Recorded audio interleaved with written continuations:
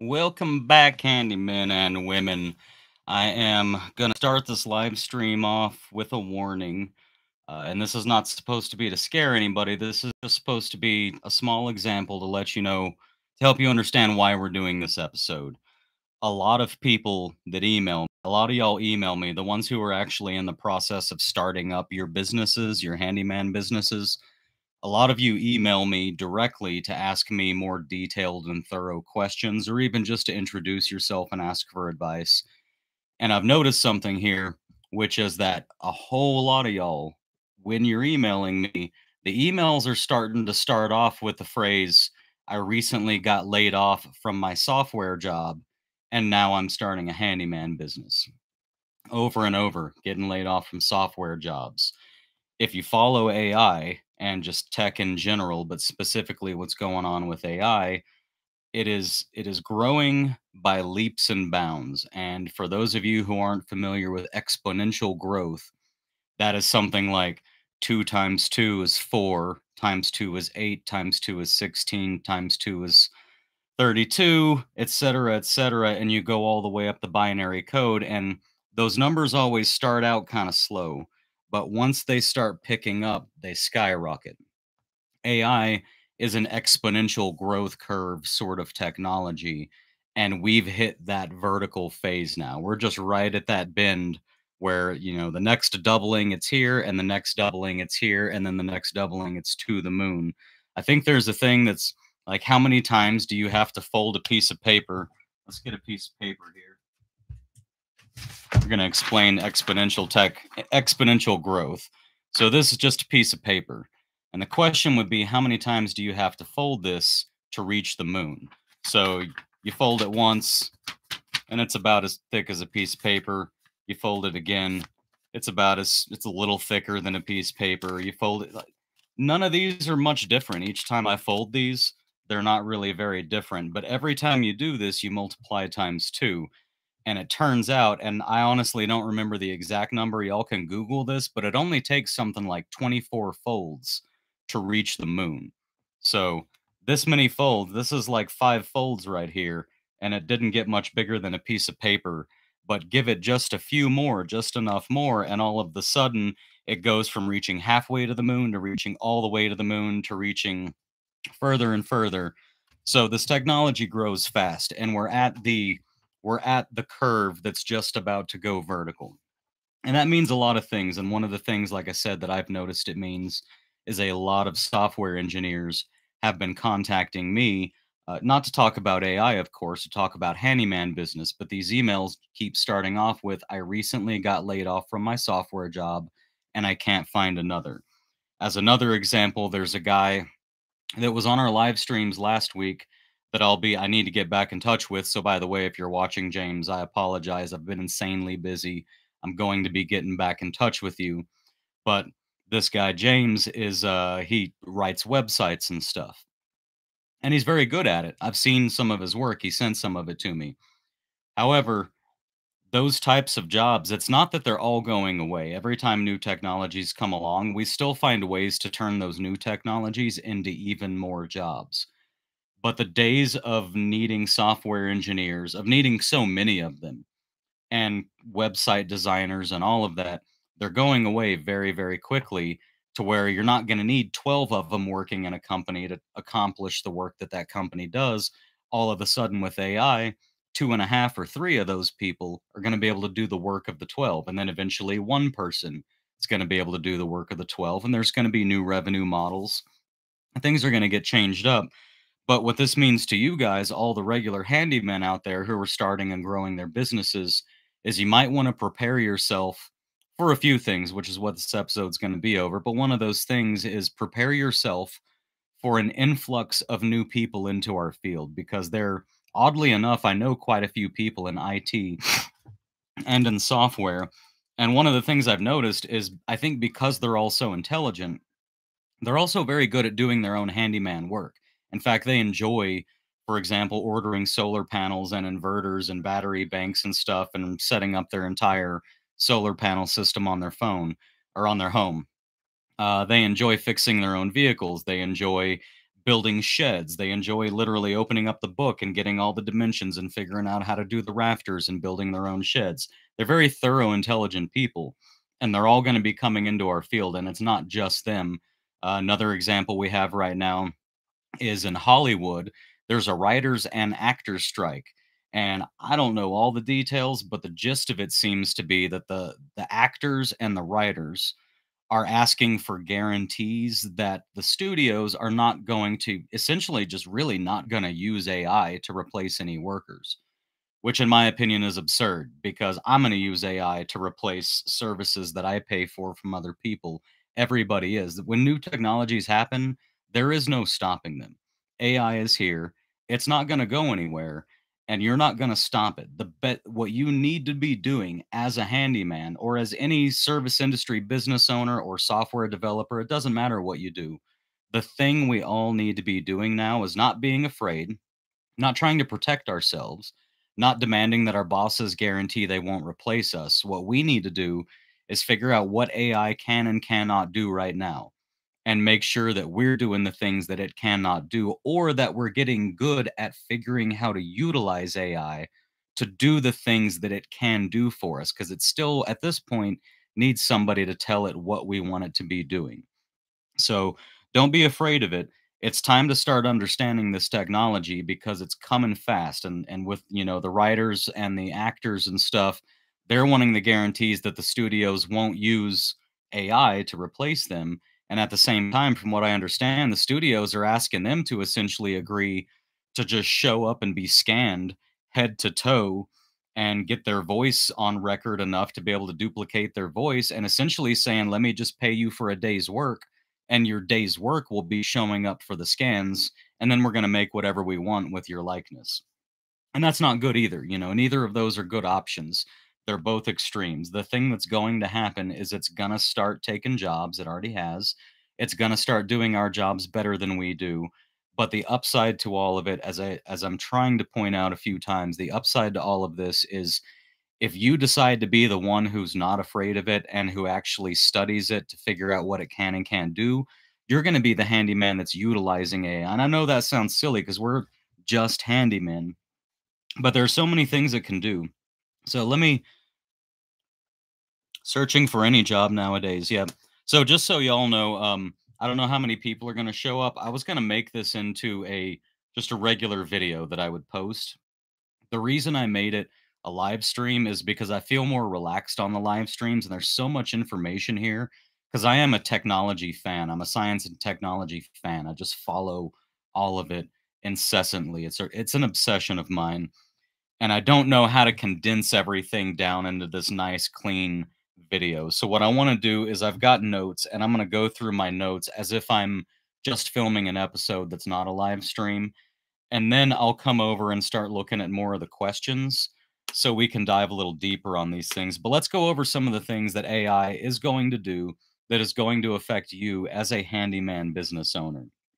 Number one, it's going to be really good at connecting clients with service providers. So all of your clients, all of your homeowners, property managers, realtors, doesn't matter who, all these guys that are looking for people with skilled trades experience to do work for them, AI is going to do a really good job of connecting everybody because it's going to reach the point where when you want something done, you don't go to one of 15 different websites and sign up and enter all your info and then wait for a call or an email from a handyman you're going to go to one place. You're going to go to maybe your own personal AI assistant, which in a year, I promise y'all, you mark my words, in a year, everybody who wants one is going to have a personal assistant. And I don't mean an assistant where you say, hey, you know, write this task on a list for me so I can remember it later. I mean an assistant who can set appointments for you, order parts and materials for you, all kinds of stuff. You're going to have an assistant.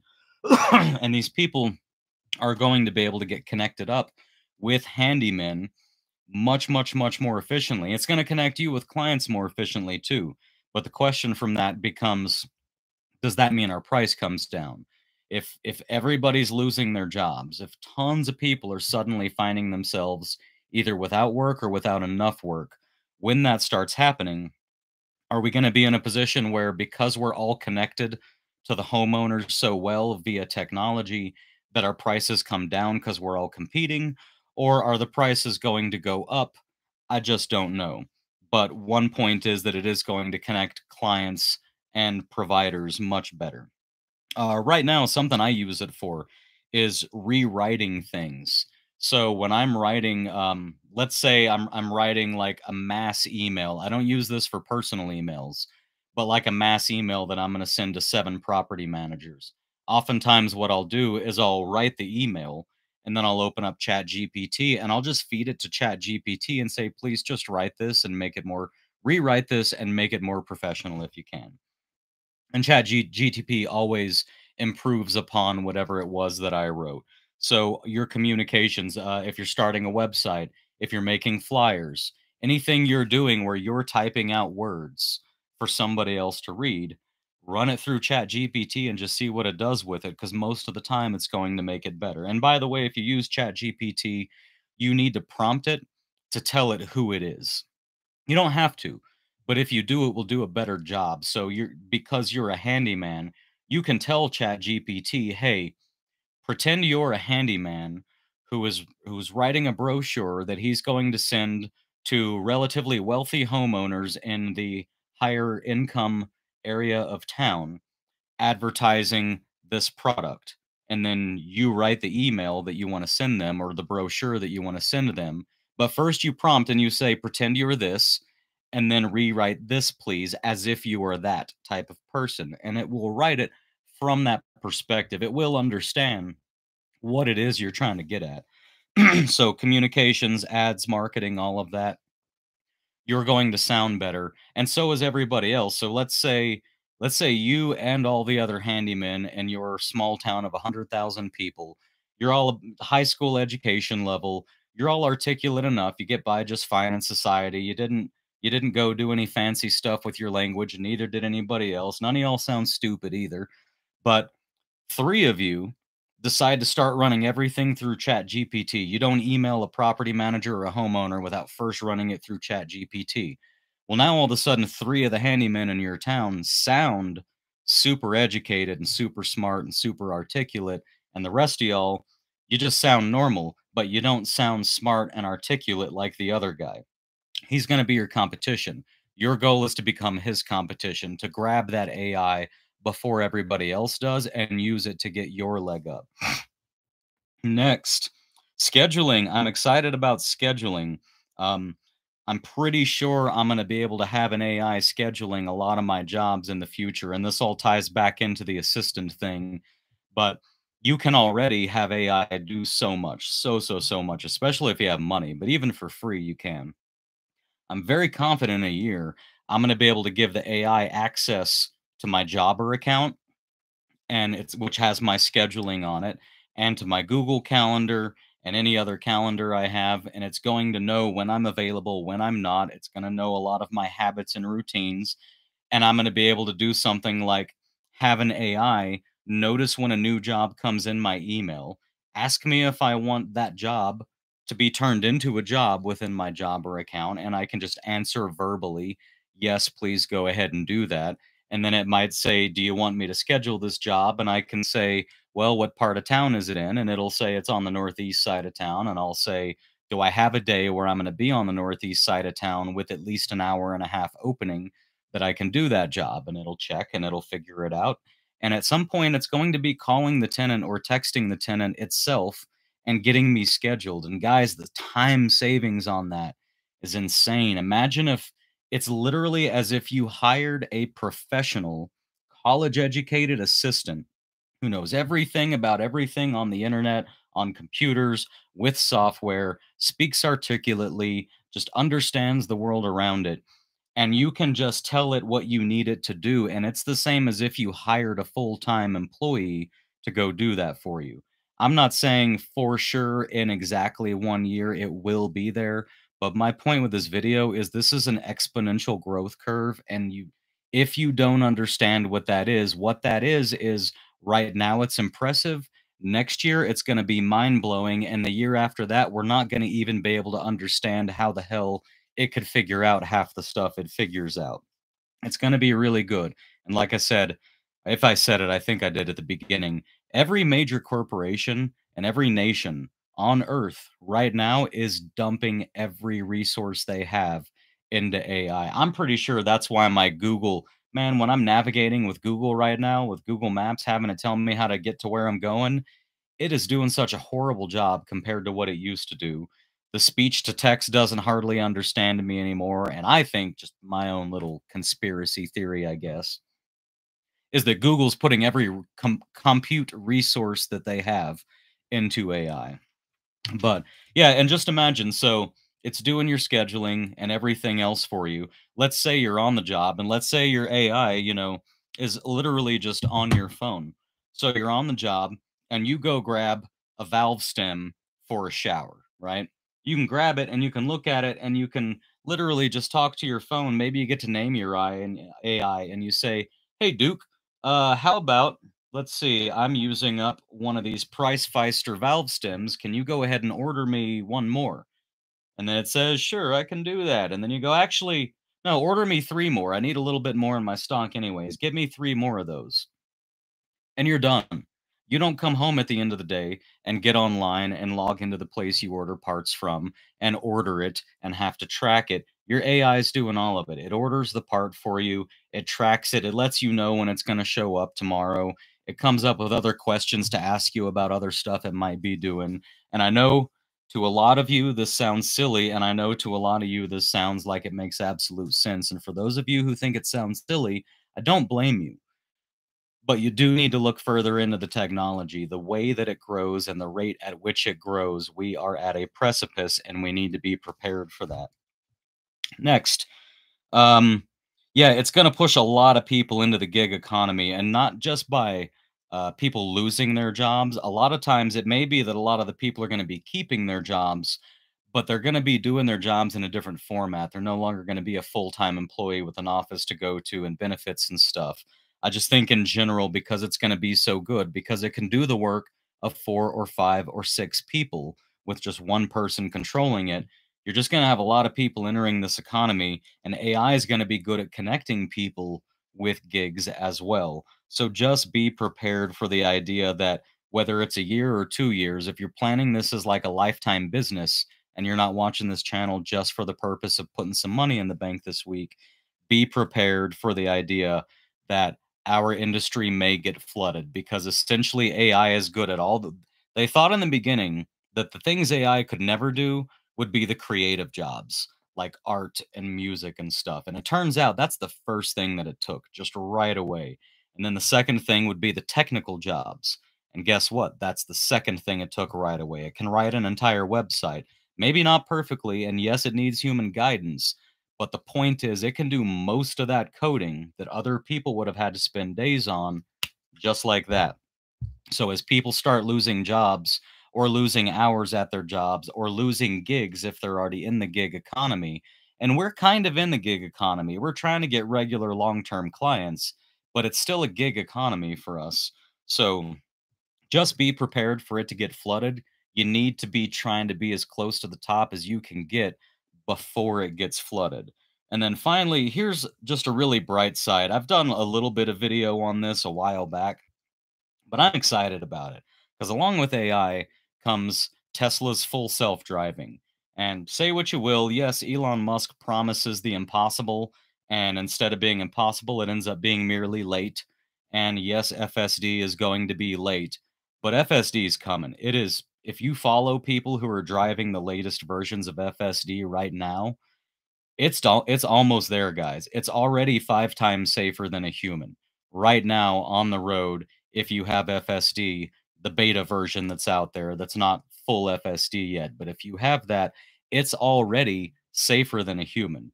And it's not going to be long at all before it is 10 times safer than a human. And believe it or not, there's going to come a day when the question isn't should we allow cars to drive themselves? The question is going to be given that humans kill each other so often and AI driven cars never kill anybody, should we even allow human drivers anymore? And that'll be a weird day because I like driving and maybe they'll just geo fence off parts of town where you have to turn on your FSD. But what I'm excited about is I have no time, guys. I'm always telling y'all I have no time. I gotta run my business, and that is a full-time job. That is all-consuming for me already, just running the business. Now I'm doing the YouTube channel, which I absolutely love doing, and I I want to just cut the business in half and put the other half into YouTube. It's just not financially feasible.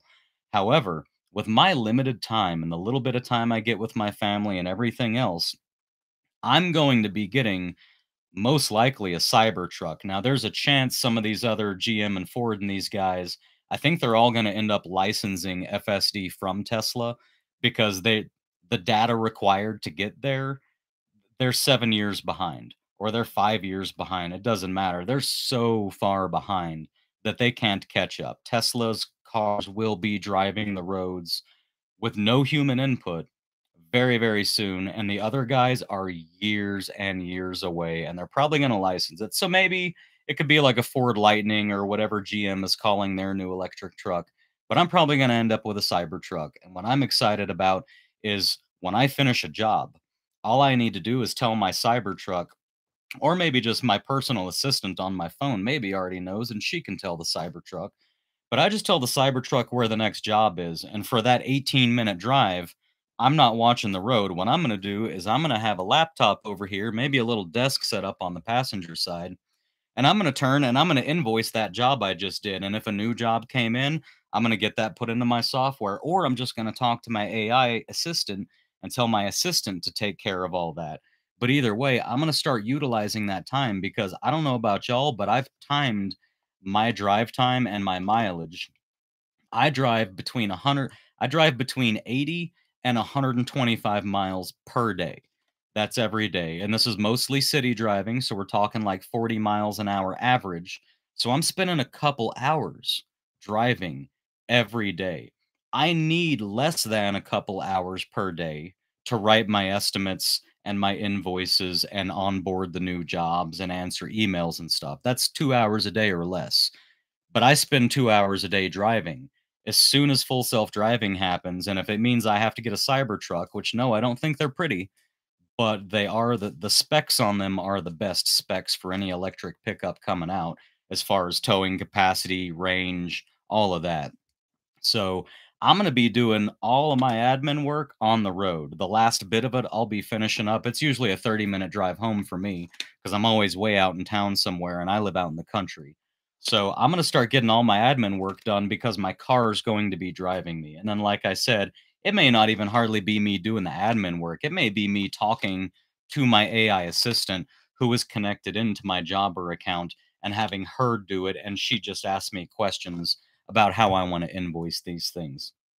And then uh, let's see. Let's go to some questions.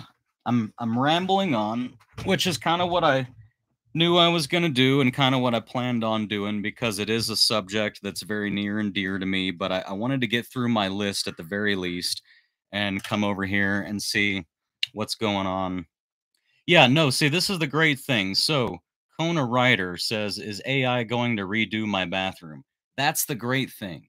No, it's not. Not anytime soon. I mean, someday and someday could be five years someday could be 150 years or a thousand years i don't know when an ai robot is going to be capable of the fine manipulation skills and the contortion skills required to crawl up underneath cabinets with your channel locks and get up in there and try to get that rusty bolt off of the faucet uh, but it's not anytime soon so all we need to worry about is not that ai is going to physically be doing the work we're doing we just need to be prepared for the fact that it's going to change the way all businesses do business, including property managers, how they find handymen or how they pay handymen. If you're working for homeowners, it's going to change how homeowners find you, how homeowners deal with you. Maybe it'll change how they want to pay you. You just, the point is, we don't know. It is so good at what it does that it's going to be better than us at everything at some point, And we need to see what's coming down the pipeline and be prepared for it so that we're acting in advance to prepare for it rather than a reacting after AI happens to us. Uh, Del Rey says, just make sure to never become dependent on AI. Always be proficient in whatever it can do for you. I agree with that completely. You do, it's like a calculator, you know.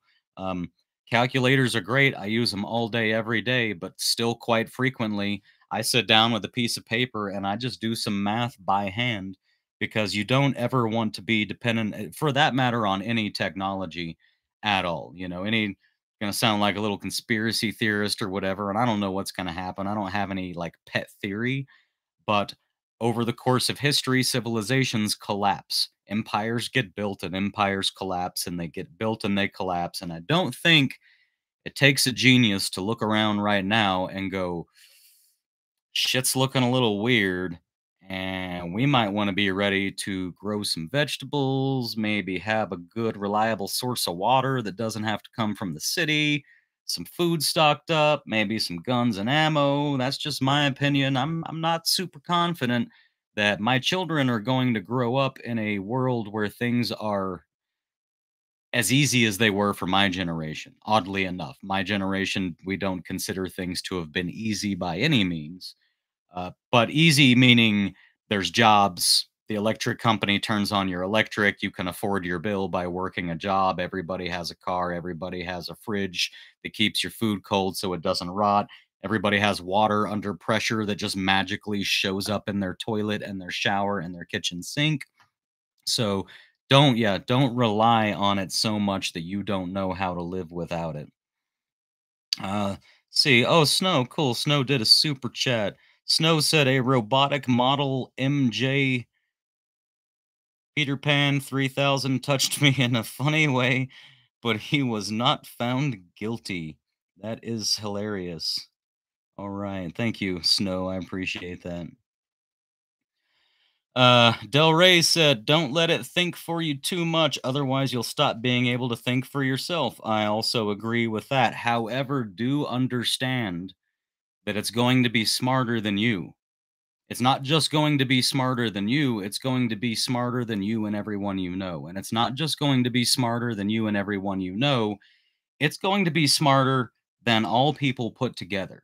It's going to be smarter at some point. I'm not saying next year, but the way these technologies happen and the way they grow, once that compute is there, once that once that line goes vertical, which it's it's this close to that vertical, it needs like one or two more doublings once you hit that point, it hits the point that it can improve upon itself.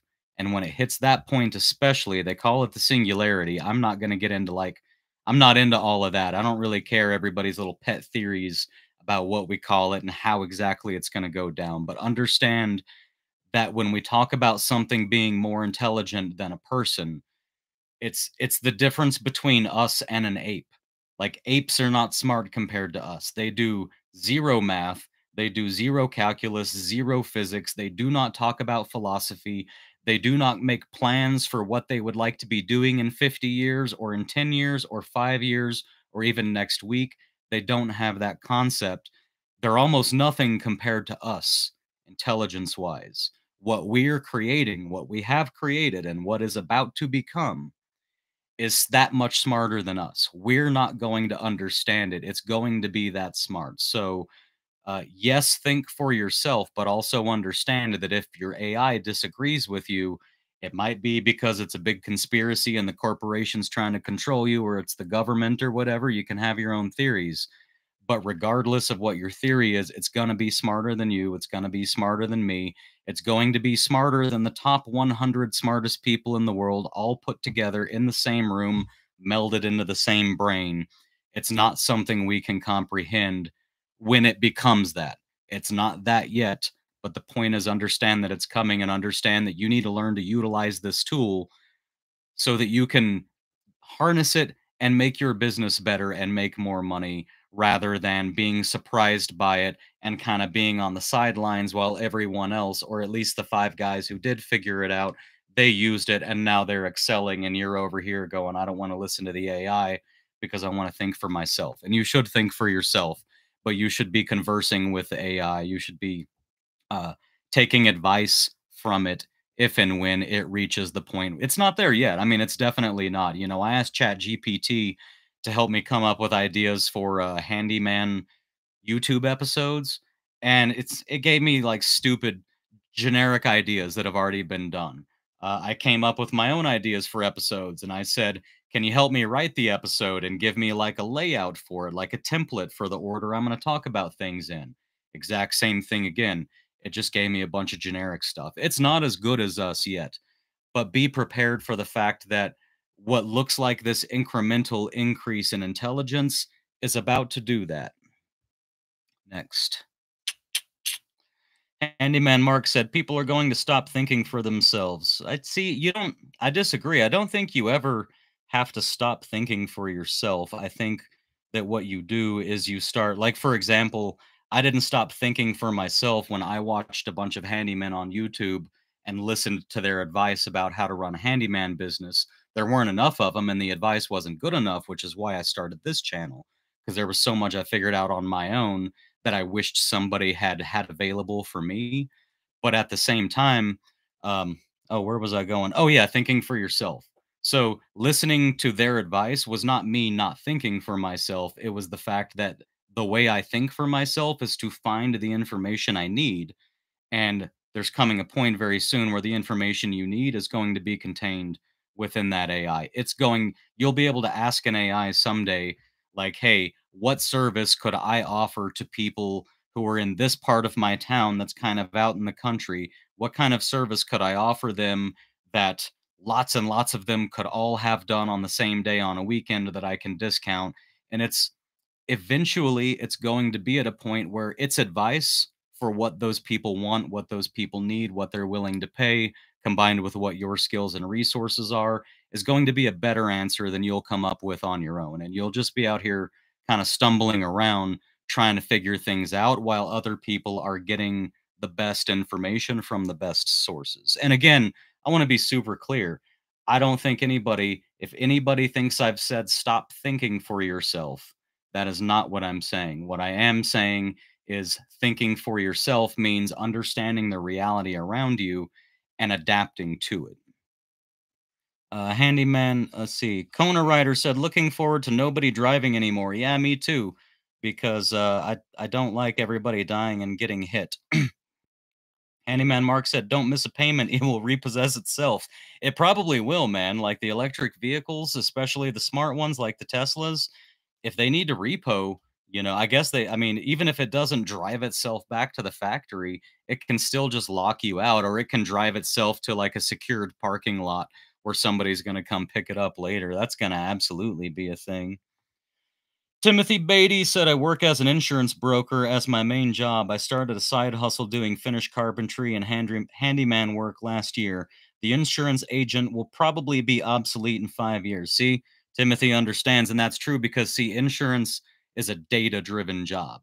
Anything that's done on the computer that's mostly data processing and data driven again, it's not that there will be no insurance brokers, but the idea is going to be that, you know, hopefully, Timothy, if you learn as an insurance broker, if you learn how to use AI better than all the other insurance brokers, if the other ones are sitting down going, I'm sticking to my guns and I'm doing it the way that I know it's best done, and they don't change anything, Timothy, you need to be the guy who goes, okay, what can AI do for me to improve my ratio of success with sales and stuff so that suddenly as the other guys one by one are popping out of business you're taking what's left of their clients until eventually someday of course perhaps you're not needed anymore and someday i'm not needed. Someday even with youtube channels dude i've been watching a lot of youtube's uh, uh, videos that are completely made by ai where it's written by an ai the voice is done by an ai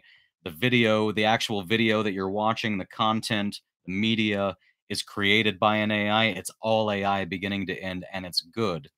In fact, an example I want to give is with this channel. Once I move into my new studio that I'm going to be building, and once I do the master class, which is probably going to take like a year, where I'm going to redo basically my whole history of videos, but put into these very perfect like chunks to guide somebody from step zero all the way through running their handyman business. When I finish that, I want to make 365 how to videos. It will cover everything we do as handymen, every single individual task that we perform on these rental houses. I want to do a video for, and a very high quality video from multiple angles, great audio, great lighting, great explanations. I want to buy a cabinet and literally with a jigsaw cut it away, like do a cutaway in real life so you can see like the garbage disposal I'm working on. So you can see the backside as I'm installing it. But I also am very aware that probably the master class is going to take a year minimum, maybe a year and a half. The how to videos are going to take a year, year and a half. By the time that's done, AI for sure is going to be able to make better videos than me of the same things that I did. In fact, it will probably learn from my videos and it'll create a 3D virtual that you can flip upside down and inside out, make the cabinet translucent so you can see it, but you can still see through it. Have little things popping up here, and the, it'll be able to do a perfect job of something that I did a 90% job on.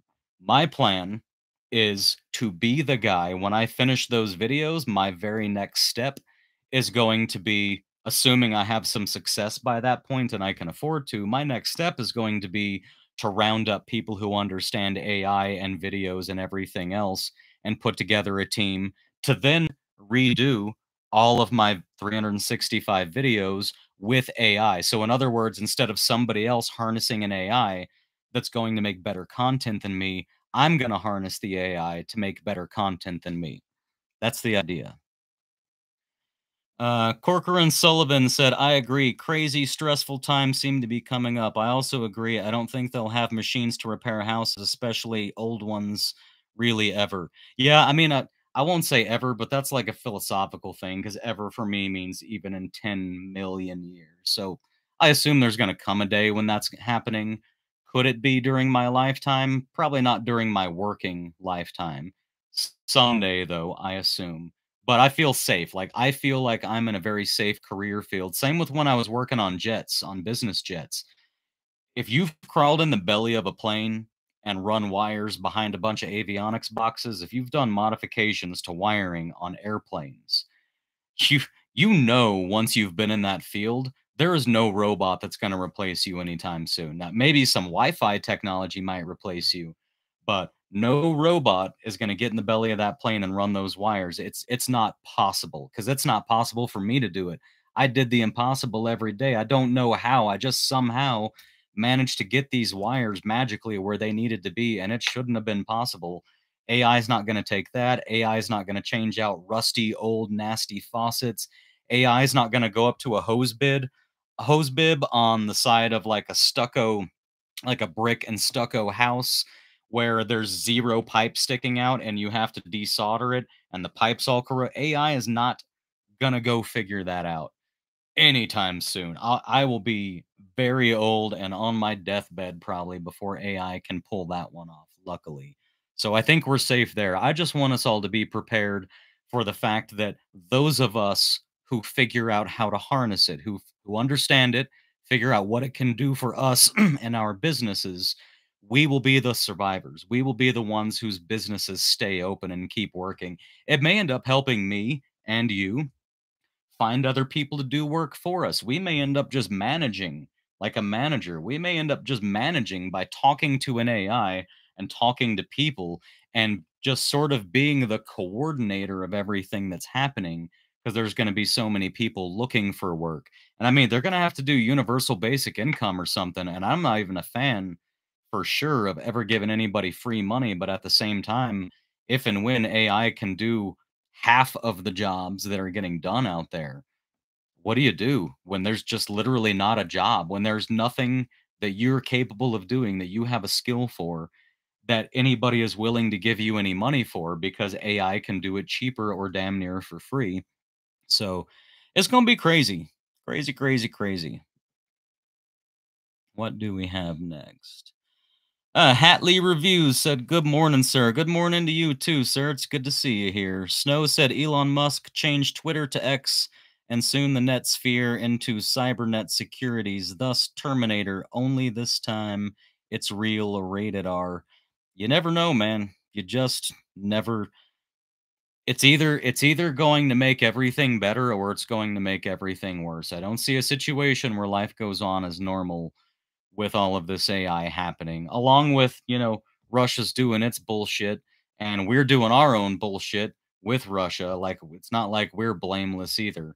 So the whole world is going crazy. Um, our president has Alzheimer's. So does I think the what the Speaker of the House or whoever he was, McConnell, just shut down for like 18 seconds the other day. Just saw a video where Dianne Feinstein had to be told by her aides to just say aye. They were voting and they're like, just say aye, just say aye. And she's like, what? Say, say, oh, okay. aye. There aren't uh educated, intelligent, well meaning people running our country or any country anymore. There are some, I'm not saying there's none, but generally speaking, uh, it seems like we're in a simulation because it's never been so interesting. Like if I was going to run a simulation, I, I would be throwing aliens are now. So, you know, I'm sure y'all have all heard that aliens are real. Um, that's not exactly what I got out of those hearings. I did not get exactly that, but nonetheless, shit's crazy. And we all need to be looking out and just be prepared for literally anything that comes down the pipeline. Let's see. Audio is 10 times better. Thank you, Hatley. I appreciate it, sir. I put some work into it.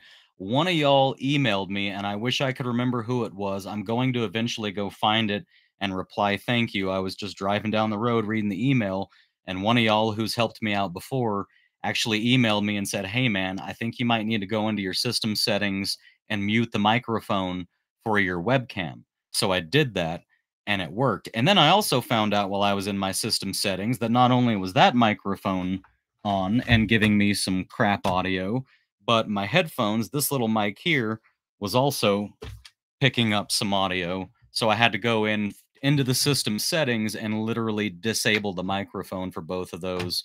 But I'm I'm so glad my audio is better, man. It's just been the most embarrassing, frustrating thing to just not be able to get. You would think it'd be so simple, and it just hasn't been. So thanks for the compliment. I appreciate it. I've I've worked hard on the audio problem. This microphone right here was like 169 bucks, and I thought it didn't work at first, and it turns out it does. Uh, let's see. Corcoran Sullivan said the main effect for guys like us will be a bunch more competition from out of work office workers. That is exactly correct. There's going to be a lot of people. Two things are going to happen simultaneously. Lots of people out of work looking for handyman work or any kind of gig they can find. And two, lots of software run and created by AI that's going to be very good at recognizing all these new people, figuring out their skill sets, organizing them, classifying them, getting them all onto centralized platforms, and making sure. I think what's going to happen is the work is going to be doled out to a lot more people. So in other in other words, the demand is going to stay the same, but the supply of handymen is going to go up. And when the supply of handymen goes up, the value of handymen goes down. So we need to be keeping our value up by being on the ball, on the money, getting the jobs, getting the clients. Because in the end, if you're going into someone's home, regardless of an AI or what it thinks, in the end, if you can get people, whether it's property managers, realtors, or homeowners, to trust you enough that they want you to be the one working on their homes, even if your prices have to come down slightly, which if they do, then that would be because everybody's prices for everything is coming down. So they'll come down in relation to everything else. But even if your prices have to come down slightly because of a little more competition, the point is use the time you have available now to make the best impressions you can, to run the best business you can, and to get your foot in the door everywhere you can get it so that if and when this does accelerate, which I think it's going to, like I said, I'm getting a lot of emails from people who said, I just lost my software job and now I'm a handyman because nobody literally nobody is hiring. The only software jobs they're hiring for are people who are going to help create an AI or run an AI that's going to replace all the other software guys. So let's see. Uh, competition from out of work office workers, correct.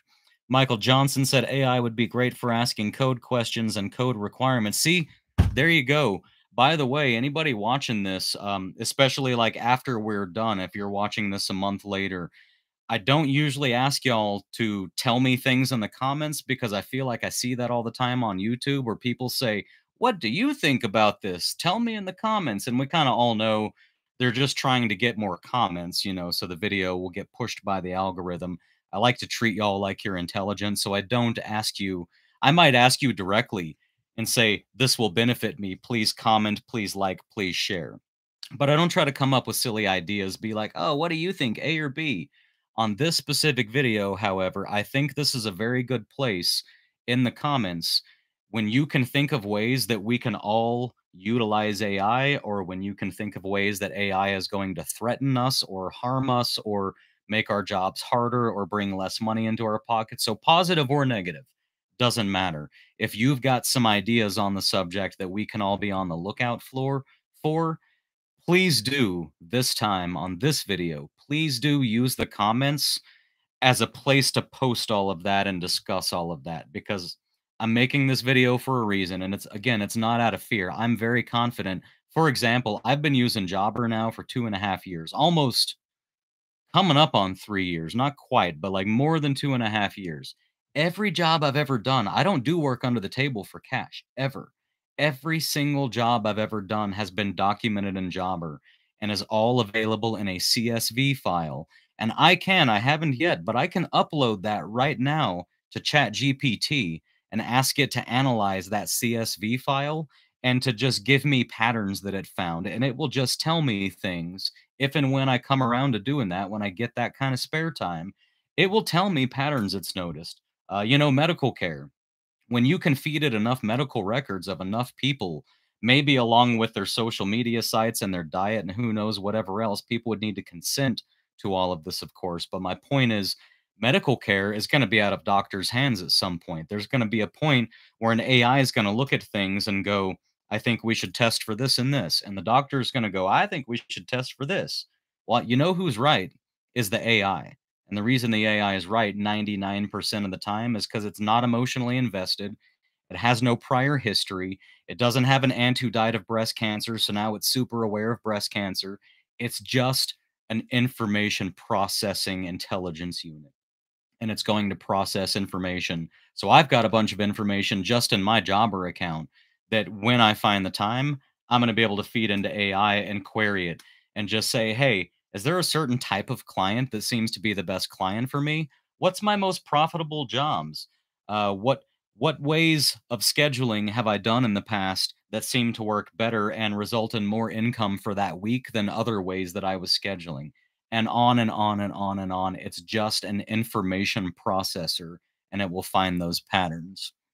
So, yeah, asking questions and code requirements is perfect. You could probably, in fact, I would bet there's going to come a point, maybe this is three to five years down the line, where instead of looking for a YouTube video that somebody already made about how to do something, instead you can ask your AI to show you a video and it will just, it will be generating the video specifically for you, knowing your preferences, knowing your vision, knowing how well you can or can't read, whether it puts lots of words in there, knowing so much about you and your preferences.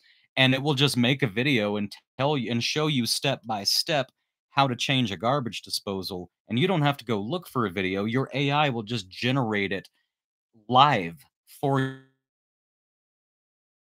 Just an idea. I'm not saying it will.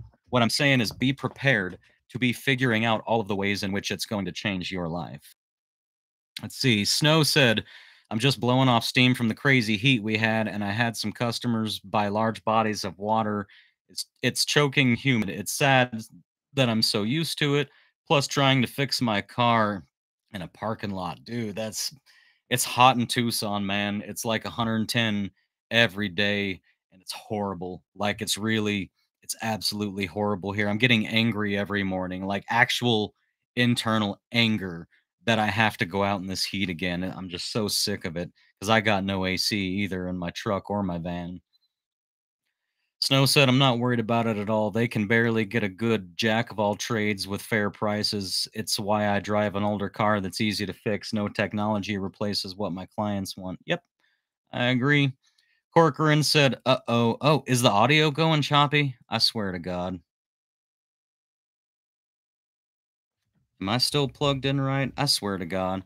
These audio problems are never going to go away. If anybody's here right now at the very bottom, let me know if my audio is good. I'm going to get real angry if my audio is not solved after solving it and then solving it again and solving it again. It's getting hot in here. I actually got the fan off just so that the air from the fan doesn't affect the microphone and the audio. Yeah, Corcoran said, haven't heard the last two minutes of what you said. Hatley said, been there, done that. That's why it's cool having an A&P, always a plan B, and we live well below our means, so it's all good. Yes, sir. yes, sir. Yes, sir. That's the good thing about aviation. I've told a lot of people uh, not to go into aviation if they want a good quality of life in terms of like hours you work and whether you're working graveyards and all that, because aviation can take away some quality of life. However, you're a young man with a baby on the way, if you can get into aviation, among other job fields as well, but aviation is definitely one where once you get that certification, and I was avionics, I didn't even, I don't have an A&P, not required for avionics ever.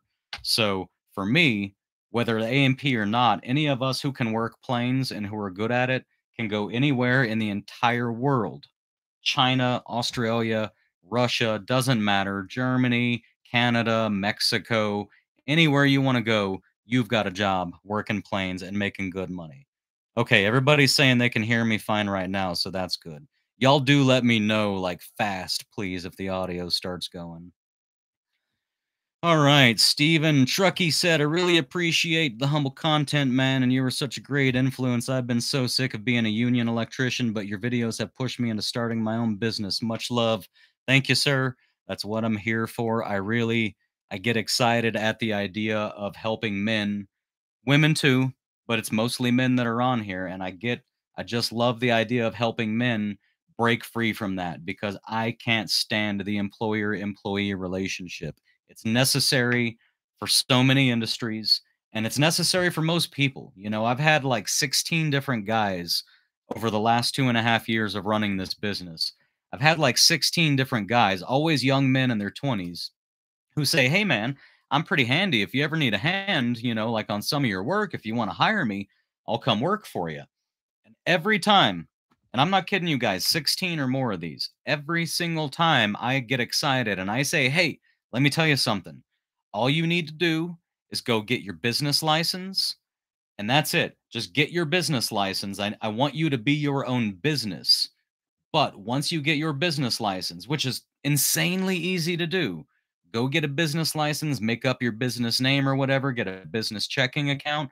And not only will I hire you, but you'll make at least more than $50 an hour. I don't care what you do or don't know. I can teach you enough things in a day to be able to have enough jobs to send you on that you can at least go make $50 an hour doing like one job a day or maybe two jobs a day until you get better and I can get more work for you. But you just need, I need you to be independent. I don't want an employee. I don't want to pay workman's comp.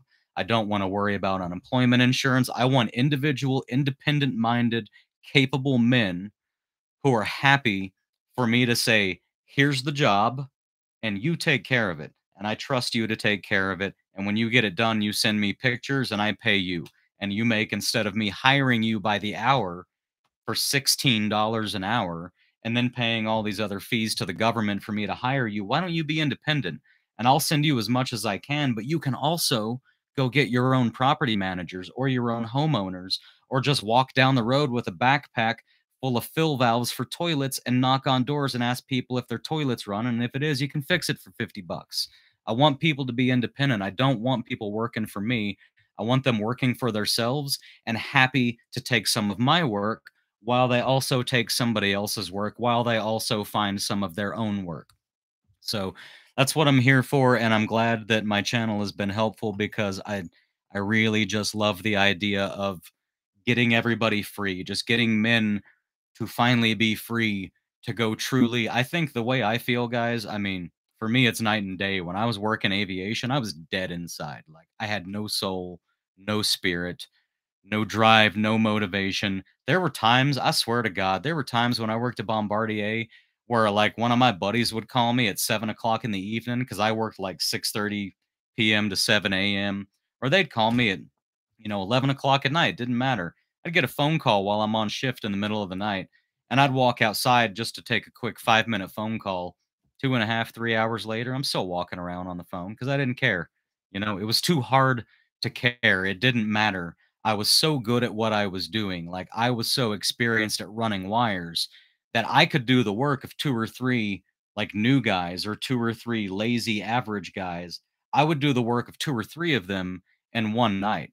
So if on a particular Wednesday, I just really felt like being on the phone for two and a half hours, in my opinion, it was like, you know what? Nobody cares. Doesn't matter. Day shift ain't going to get nothing done on this, anyways. The money's just stupid. I'm not going to get paid more either way. And I've done my fair share, and they're still going to make a profit on me. So as long as they're making a profit on me, I'm not super motivated at all. I had no soul, no spirit, no motivation. I was not somebody that I was, I wasn't proud to be who I was because I didn't feel like there was anything to me. I didn't feel like I specifically was doing something with my time during the day. I was doing something for somebody else with my time. When you're doing it for you and it's your baby and it's your business, yeah, it consumes your whole life. You're busy with it morning to night, seven days a week. So, no, you don't get those weekends or you don't get to just clock out at five and forget about it all. You lose that. But what you gain is a sense of purpose and a drive and a sense of meaning and something that you wake up in the morning and your brain doesn't go, God, I got to go to work today. Your brain goes, All right, next, next, got to keep this moving, got to keep this trucking. This is what I'm doing. And it just, it puts you in a zone and it's a zone that feels good. So I like these hats, by the way, because the, the good ones, anyways, have a leather band. That's what all the staining is from right here is they have a leather band inside here and the leather band will soak up all your sweat and that keeps your face dry for a little bit but then when you start getting all hot and you need to take it off just to let your head breathe which it it breathes pretty well but when you need to let your head breathe and you take it off that band gets super cold so when you go put it back on it feels real nice all right let's see where was i at Hatley said McConnell had a control alt delete. He did, man. He did. He every it's so stupid. I feel like it's so obvious right now. Like I feel like we're all watching um people who aren't capable of running our country run our country and we're just because we're tribal because all of the Republicans are going to take whoever the Republican is that just did something insane and they're going to make excuses for him when they know it's wrong and then the Democrat next door is going to watch the Democrat do the thing that's insane and then make excuses for him. And we've all become so tribal that we're not willing to call out our own people who are on our side. We're not willing to call them out on their mistakes because we're afraid that by calling them out, we've admitted somebody on our side made a mistake and maybe we'll lose. When what's actually happening is we're all losing because nobody's calling anything out. And this system that we're almost not a part of anymore is just running itself and it's running itself into insanity. Del Rey said, I agree. Become proficient in using AI and keep up with its developments, especially with regard to how it can improve your life in particular. Just keep God first and second. Yeah, I don't disagree. Um, I'm not religious. I'm actually atheist and not like some sort of, uh, I don't preach atheism. I just, I have a lack of any particular belief system as opposed to a belief system that says other particular things don't or can't exist. I just don't adhere to any particular belief system. However, I will say keep the moral values that are taught by many religions close at hand because the truth is most of what I believe and preach about right and wrong like in my own personal life you can find it also in the Bible. I just didn't get it from there. Uh, Michael Johnson said audio is very high quality compared to your last live stream. Thank you. Thank you. Thank you. One of y'all helped me out and told me what I needed to do, and I did it, and it seems to have worked so far. There's still improvements to be made. I do want, I'm weird. I want perfect audio eventually, and I mean perfect audio. But you know what? I'll take an 87 out of 100. Pittsburgh Toddy 86 said AI literally scares the crap out of me. Some people actually have romantic relationships with AI bots. It's bizarre to me. Yeah, I don't I mean, uh that's definitely not a good thing. I would tend to want to ask the question um you know, what's what's wrong with them not like in a their creepy way, but uh, if there was trauma in their past that led them to that. And some people are just creepy, but uh you know, a lot of people are scared, a lot of people are alone, a lot of people are unsure. Our our our society in terms of how we promote how men and women should deal with each other and be with each other and pursue each other, et cetera, et cetera, is getting very broken down. And I think most of the country right now, I'm extremely lucky. I finally found the one. And I, I met her very late in life. I was 37 when I found the one there were many others before her that I had to let go because I knew that they wouldn't make good wives and or good mothers. But I found the one. However, uh, a lot of guys and if if you're below the age of 30, assuming you want to date within your age range, I feel like a lot of guys out there right now are in a position where there are no good options. I don't see I don't see your generation of women being overall good women to date and marry. And I don't mean there aren't any. There are tons. Like I, I know there's a feed store right down the road from me. It seems like every girl I see in that feed store that comes from a farm or a ranch is the kind of girl that I would want my kids marrying. Um, but y'all don't have a lot of good options right now. We've we've and when I say we, I think I mean my generation and perhaps the millennials right beneath me. I think we have allowed a little bit too much straying from what took thousands, if not hundreds of thousands of years of evolution, of cultural evolution to come up with systems that can hold a society together. And I think we just we let it, you know, it started with little things that were good things, but I think a lot of it's gone so far that we don't remember that we're animals and we're biologically wired, genetically created, whether by a creator or not, to want certain things, to need certain things, to feel certain ways in response to certain things. And it's not within our control to just change who we are. And I think we've changed what we expect everybody else to be. And therefore, they're trying to be that, and it's not working. So, yeah, I definitely don't think it's good for young men or women, I guess, but I bet it's mostly men to have a relationship with an AI. But at the same time, I understand that if you're lonely and if there's no one, if every woman you know is just trying to get laid by the top tier man, that all the other women are all going to that same man and none of them are paying attention to anybody in the middle, and you have nobody and nothing.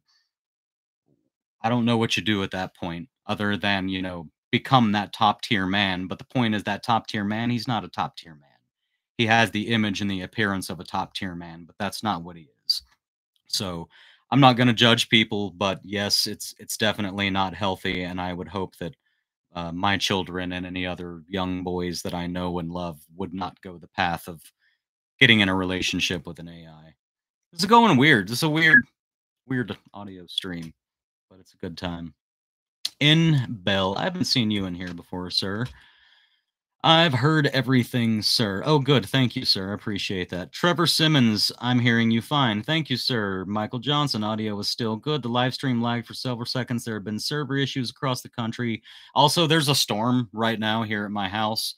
I could just disappear any moment because the lightning could strike. We've lost power a few times here over the last week. In Bell said, uh, I'm into AI and was watching an MIT video. My husband is a handyman then this live popped up. We never thought these two worlds could collide. This is an amazing revelation. Yeah, that's the thing is it's gonna collide with every world. Every I swear to God, I just I don't know. I don't want to seem like uh, the sky is falling kind of person because it's I don't think it's a negative thing, or at least it doesn't have to be. But I feel like everyone is walking around thinking that AI is now creating really neat images. By the way, if y'all saw the thumbnail for this, that's an AI generated thumbnail. I, I took the liberty today of having an AI generate. So I put the text in it, but the picture of the robot, that's an AI. I went to like five different AI image generation sites, played with all of them, played with my prompting, went back to each of them with new prompting until finally that's when I came up with just to show I could never be capable of making that. And three years ago, just three, three years ago, maybe even two, but three years ago, you would have to pay somebody a lot of money, like a lot. There were people whose entire careers were making images like that for corporations and for brands and for marketing organizations. And now they're not necessary. By the way, my logo, my Bulletproof Handyman logo, all of the different Bulletproof Handyman logos you've seen, all of those AI generated. I used AI logo generation websites, paid about a hundred bucks for each one, and got it done in about an hour for each one, like to an exquisite level of detail that was perfect for me. And then got transparent ones, PNG file, all all the different file types, all the different sizes, with like three different branded color schemes, everything. It's insane what it's doing, and it's going to replace so many people, and that's okay. I mean, I'd be scared if I was in certain fields, but I wouldn't just sit around being scared. I would get scared and then I would go, okay, what am I doing? Either how do I use AI to be better at what I'm doing, to be the guy that utilizes the AI and still gets the paycheck, or if I'm going to be the guy that exits the field, wh- where do I go enter into next? But yeah, I love watching MIT videos too. I was just watching, oh, what was his name? Eric Weinstein loves the guy. He's one of the smartest physicists in the world, and I can't rem- remember his name.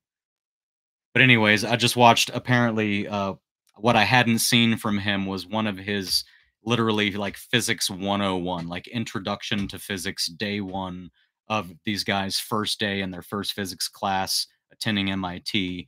It was a really cool video. Uh, Chuck, what's up, Chuck? How are you doing, sir? Chuck said hello, hello. Good to see you in here. Uh, the Bean Patch said hello from Missouri. Hello, Bean Patch.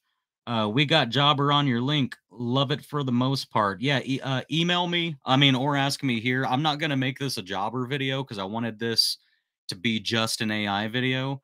Uh, I will be doing a Jobber video, but it won't be a live stream. So if you need any help with Jobber right away, email me. I have this long list of guys, I have this long list of videos that I need to make that I want to make that I'm planning on making and that I know you need.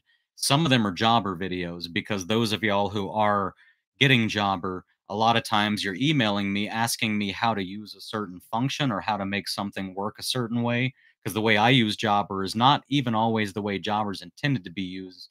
I, I found a lot of alternative uses for features they have. So, uh, Bean Patch, email me, bulletproofhandymanbusiness at gmail.com. Email me whatever it is you might be having any issues with, and I will either tell you the solution if I already know it, because I use it incessantly. I've, I've dove deep into Jobber. I use literally almost every feature and function they have, um, and I can probably help you. And if I can't, then I can get in touch with some people at Jobber or, for example, if it's just a feature that they're missing or that it seems to be missing, I can find out from them for you if they can either work on creating that feature or if perhaps it does exist. It's just not where you would think it would be, or it doesn't, you don't use it the way you would think you would use it. So, uh, bulletproof handyman business at gmail.com. Shoot me that email and I will reply to give you some help with whatever's not working right. Chuck said, oh, wait. The Bean Patch said, "Don't AI will take over our work anytime." Yeah, I think you meant don't think AI will take over our work anytime soon. I agree. I think most people on here do. Just the to to design the machines, you know, forget the AI, just to design the machines that would be capable of articulating their limbs and some of the contortions that we have to articulate ours in is just it's not happening soon, you know. It just ain't. Chuck, said for a full move out slash clean out and a rental what are your steps not going to get into that that is too big of a subject here chuck i do have a move out playlist how to do move outs i have a move out playlist it has a part one which is like inspection and a part two which i think is the creating the estimate for it i don't think i've done the part three which is going to be doing the work um, I will give you a very short answer for the work portion. If you've watched what I've done and now you're to the work portion, when I show up to a move out, I do a few things. I try to bring everything I need, and I'm not going to get deep into this, but I try to bring everything I know I'm going to need and whatever things I think I might need. And I show up and I literally start at the first item on my list. I don't jump around. I force myself to go to the first item on the list, with the exception of like if there's a drywall patch and I know I need to get that started so the mud can be drying. But other than things where like I need epoxies or mud to be setting for some period of time. I start at the top of the list and I accomplish every task to the extent that it can be accomplished until I reach a stopping point. So, say task number three, I can't finish because there's some particular part that I need from Home Depot. So I get all the way up to the point where that's all I need is that one part. And then I make my shopping list and I make sure to say, I need that part. And that should never happen. I should have already had it if I did my job well beforehand. But since I didn't, now I need that part. And I go down that list until the only thing left is buying stuff. Don't figure out that you need a valve stem. Go get your valve stem, come back, start the work, and then find out 10 minutes later, now you need a bathroom supply line for the faucet that you put in the bathroom. Don't do that. Do every single job you can to the extent that it can be done until the only thing holding you back is missing materials, and then go get all your materials and finish the job. I will tell you that much.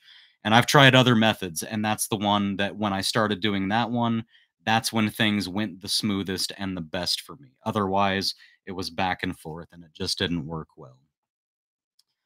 The Bean Patch says, Does Jobber always charge you to get your payments through them? I'm not going to give them 3% if I don't have to. Let me check something. Yeah, I think it's like 2 point something percent. That's just the way that the system works, whether it's through Jobber or through, I'm sure like Square maybe charges less. There's going to be payment providers all over, payment processors that you can go through everywhere. Uh, if you don't want to have people pay through Jobber, you definitely don't need to. My payments are all direct deposit for the most part. It's very rare. However, I do let payments go through Jobber because let's say I have a situation where I need to send a so everything was approved through the property manager, but when it's done, the homeowner is going to personally be the one paying the invoice. For me, if it's an $800 job, and it's 3% of that $800 job. So 3% of 100 is $3, 3% of 800 would be $30. So now the question becomes is that $30 worth it? And for beautiful perfecting quote and then uh, approved it electronically through the software and then pays it securely through the software, the fact that it costs me $30, it doesn't bother me a lot because for $30, I just acquired a lifetime client because now that homeowner is very likely going to be very happy, not just with my work, but with the entire experience that he had with me. So I bought him, I bought a client. And if you look at customer acquisition cost, say go watch Shark Tank or watch a bunch of YouTube videos on investing in small businesses or investing in businesses in general, one of the numbers you want to know is customer acquisition cost.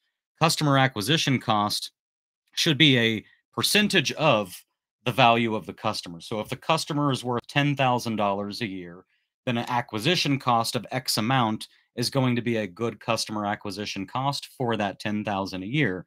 So for me, that $30 that Jobber takes out of that 900, 800, 900 dollar job whatever it is, that $30 for me is really meaningless in the long run because I made all that money in one day. I gained a valuable customer I put money in the bank. But more than anything else, I continued to be the professional. I continued to be the guy who had the software, who came off as a business, who sounded like a business, felt like a business. And I'm now the only guy that guy wants working on his house anymore. So the $30 for me is just a very affordable customer acquisition cost. And that's also why, you know, I, I don't have to pay for Jobber now because I'm a brand ambassador, but up until they offered me that brand ambassadorship, until they sponsored this channel, excuse me, guys, I was paying way more than y'all are paying because I got into Jobber a while back. So I didn't get any, like, by the way, today's the day, today's the last day, 40% off for the next three months. I don't know what or when the next sale will be I know there will be one. I'm not saying you need to hurry, but if you're in a trial and you need to get that closed out and purchased, that 40% off for the next three months does end today. But, anyways, I was paying Jobber personally over 300 a month for the grow plan. And I didn't think twice about it. It was worth it for me because for 300 a month, not only do I look like a professional, but for that, it was almost 350 that I was paying for me, what that felt like was a customer acquisition slash customer loyalty cost, as well as those itemized estimates that you can't do unless you have the grow plan where you can't have each line item clickable to approve or deny, which these homeowners eat up. They love it. It grows my some of my estimates double. Double. I'll do a $400 estimate and it'll be $400 for their line items and I'll add $400 of other stuff I found and they'll approve the whole damn thing. And I just made another $400 on that same job and that extra $400 didn't require me scheduling two other tenants and driving across town. For me, guys, when when we're talking something that comes out to single digit dollars per day in the end, $6 a day, $3 a day, whatever it is that you're on, whether it's marketing, whether it's the software you run your business with, whether it's uh, a vehicle, like say you just your truck looks so absolutely horrible that you can't show up at a homeowner's house in that truck and look respectable. You don't have to buy a new one, but if you need to pay $8 a day times 30 days out of the month, so $320 a month for a payment on a a 2015 Chevy whatever, if that's what you need to do to appear a legit business to be taken seriously and not be treated like just a handyman, those are small numbers. You know, I'm doing my business this year.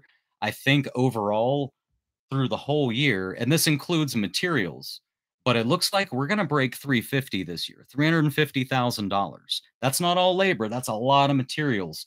That's also me sending work to other guys that are specialists at other things that I let them take care of, like my drywall guy. I don't ever texture drywall except for tiny little patches that I'm doing myself at a move out. When I get big, like plumber specials where the plumber removed the drywall, I send my drywall guy and he takes care of it. And that's another thing I have Jobber for because I can just make that job and assign it to him on Jobber.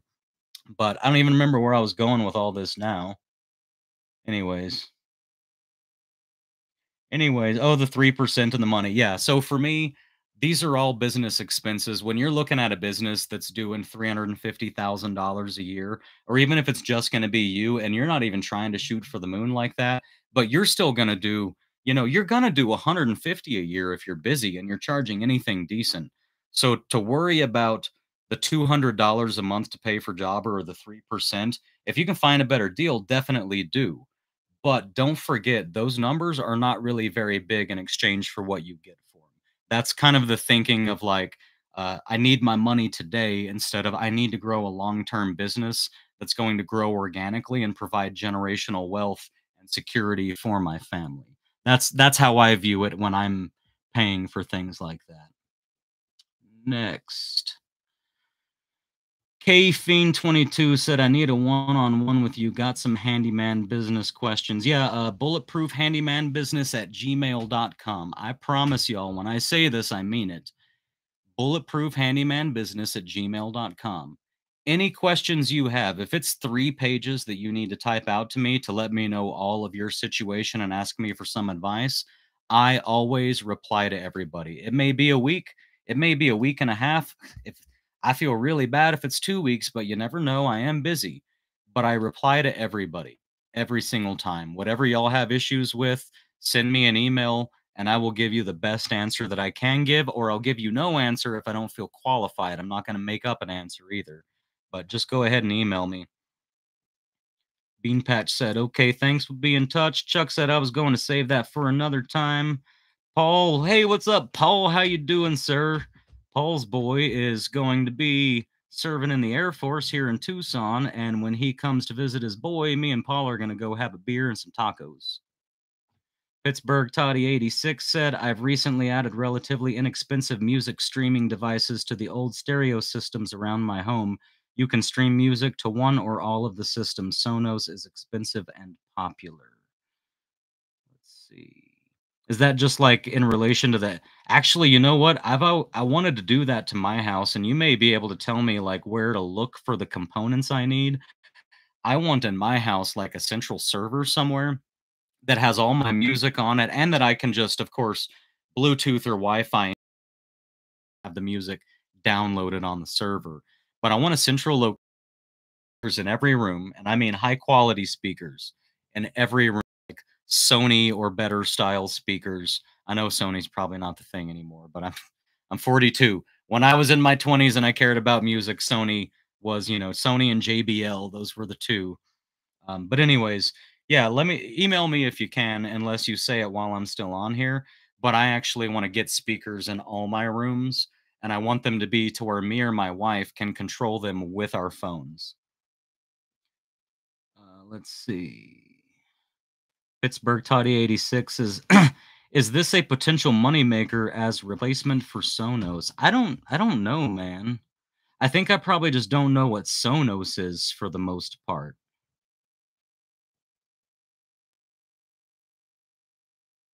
I kind of see what you're saying. I, I just don't have a good answer, sir. I apologize. I just don't have a good answer for you, and I don't want to make one up. Paul said he uses a Plex media server. My buddy Chris, my best friend in the entire world, Chris. Uh, eh, I couldn't have started this business without him. To tell you the truth, he's he's been he's been there for me for a few decades now. He uses a Plex media server also. Paul said Plex is pretty good. There's an open source alternative that's supposedly pretty good too. Can't remember the name right now. Chuck said Sonos is definitely worth it. Yeah, y'all are all speaking gibberish to me for the most part because I just don't know what Sonos. I I'm gonna assume that's a speaker brand, but it looks like we have been in here for an hour and 20 minutes, and I promised my wife this was to be a short one. So I'm to take the opportunity with a lull in the chat and everything to say goodbye to y'all and to remind everybody one more time um, this particular video here, please, anything you think of AI related in terms of, of threats from AI to our businesses, not like existential threats, just anything that you think AI might have an effect on us, any ways that we can utilize AI, let this, the comment section here, be the place to start discussing all of that. And then also, just as always, you know, like, subscribe, share. If you find value in what I'm giving you, because I'm making sure that y'all don't ever pay for it, I'm getting Jobber to pay for it. I'm going to try to get other people to pay for it. Y'all don't have to pay for it. But if you find some value and you want to help out, please take just a moment to subscribe, share, comment. Any interaction at all that you do with my posts and my videos is going to help me out. It's going to bring sponsors. It's going to open up more time and resources for me more of this for y'all, which I selfishly, honestly, I like doing it. It's a selfish thing. I want to do more and more of this. I really enjoy it. Yeah, everybody have a good night. And uh, Pittsburgh Toddy said I'm going to send you more information. Cool. All right. Well, I hope you guys are out there killing it, and I'll see y'all on the next one.